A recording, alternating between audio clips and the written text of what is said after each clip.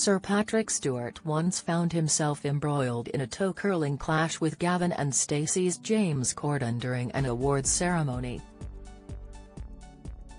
The Star Trek actor shocked onlookers when he sparked a mortifying fat-shaming spat with the television presenter while handing out an award on stage. In 2010, James hosted the Glamour Women of the Year event in front of an audience of showbiz names, including Cheryl, Billie Piper, and Lily Allen. The drama unfolded when theatre veteran Patrick got up on stage to present a gong for Film Actress of the Year and criticised James' hosting techniques. I want to speak to James here, it is James isn't it? He began, eliciting a laugh from the audience. He then accused the comedy star of standing at the back of the stage with his hands in his pocket looking like he wished he could be anywhere but here when winners came up to collect their gongs.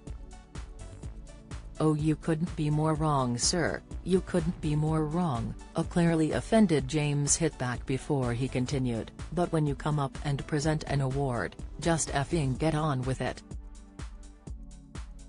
Things took a turn for the worse when Patrick got personal and proceeded to body-shame James. He told the comic, from where I was sitting, I could see your belly. And that was from over there, at the back of the room. With his arms folded, James leaned in front of Patrick's face and countered, sorry, I'm waiting for the punchline. Go on. You could see my belly and we can all see you dying, on stage, right now. Let's go for it. As the tension mounted, Patrick retaliated, referencing one of James' earlier jokes about fancying heartthrob Nick Jonas. Do you want one more? He continued to the astounded audience. If you fancy one of the Jonas brothers, cover your belly. James then presented the gong to Avatar star Zoe Saldana, who said, I like your belly. Spurred on, James said, I feel bad for people who haven't seen my belly, and lifted his t-shirt and showed off his tummy to huge applause before throwing one more barb. Okay can we get a taxi ready please? The old man's going home, James sniped.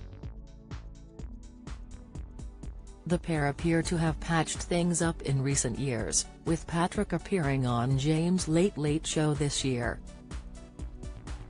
The actor featured as a guest on the CBS talk show in April alongside Mila Kunis ahead of the final episode of the program.